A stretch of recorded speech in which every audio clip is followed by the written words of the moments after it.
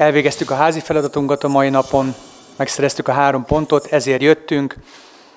Sajnos a Puskás Akadémia nem botlott, örülünk a harmadik helynek, és hasznos tapasztalatokkal vagyunk gazdagabbak április 1 óta, és tudjuk azokat a dolgokat, miben kell majd változtatnunk annak érdekében, hogy közelebb tudjunk kerülni a Ferencvároshoz, és hogy ne legyen ekkora különbség közöttünk.